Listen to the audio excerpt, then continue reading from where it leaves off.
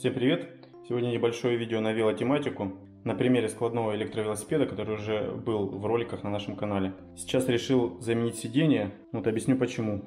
Сиденье у меня здесь стоит э, уже опциональное, вот, но как оказалось материалы э, не очень хорошего качества, ну сам материал нормальный, но как это сделано, в итоге немножко меня расстроило. Сейчас покажу. С этой стороны мы видим все в порядке, оно целое, все хорошо.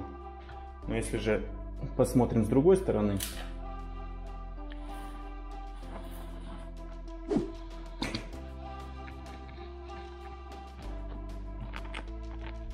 вот здесь кожа в нижней части, она просто начинает отходить.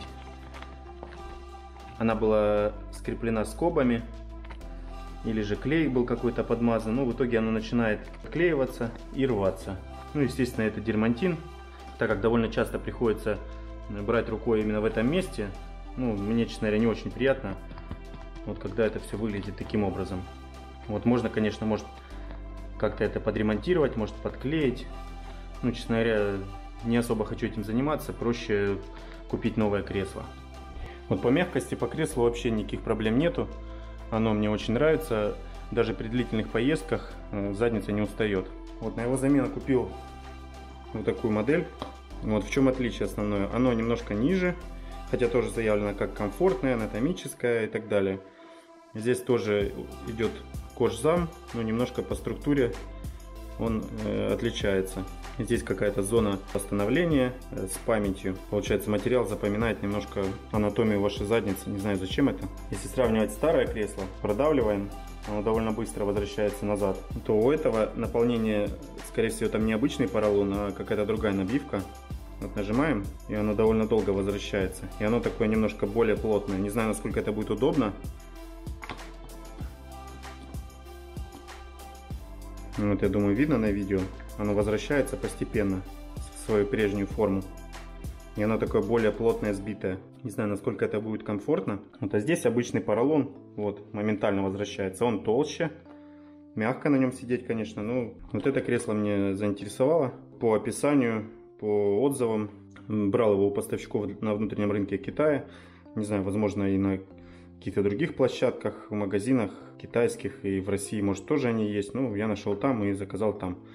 Стоило оно порядка полутора или двух тысяч, я уже не помню. Ну, вот здесь тоже у нас идут амортизаторы, ну и, собственно, крепление стандартное.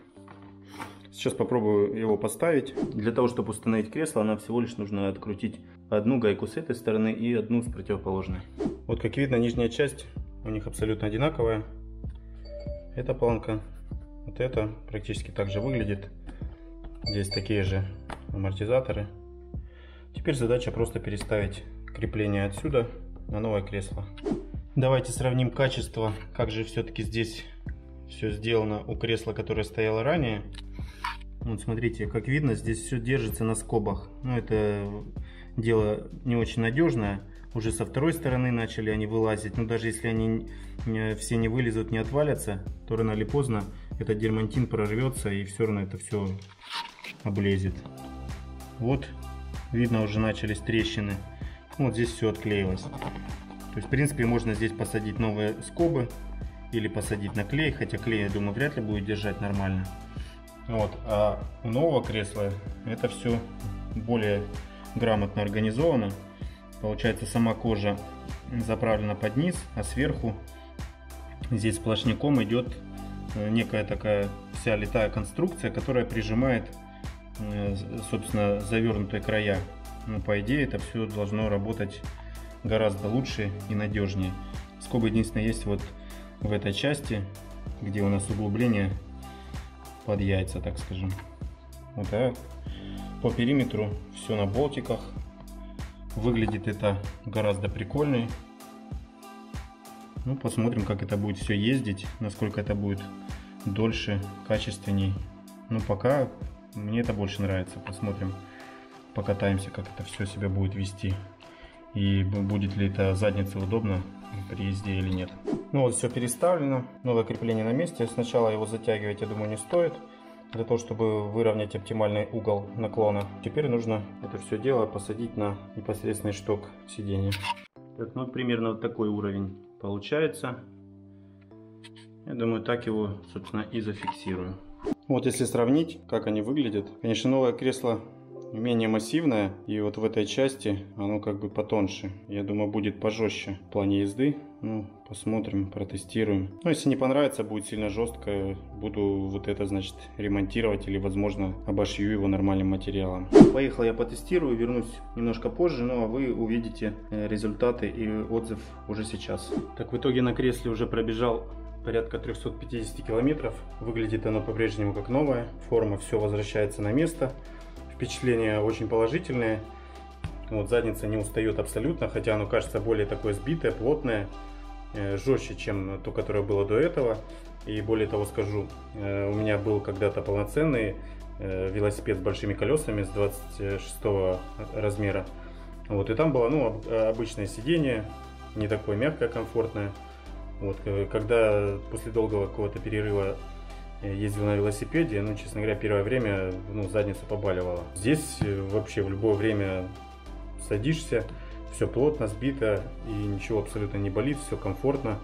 Вот в среднем проезжаю иногда в день по 30 километров на велосипеде и абсолютно ничего после этого не болит. Такая еще приятная особенность анатомическая у этой модели. Если ранее на прошлой модели, там где как раз у меня задралась кожа в этих местах, вот я брался за кресло как раз здесь для переноски его, допустим, или когда заносишь его куда-то, или нужно приподнять велосипед то здесь все продумали гораздо больше. И вот у основания здесь выемка как раз под палец. Ну, как бы вроде мелочь, а удобно.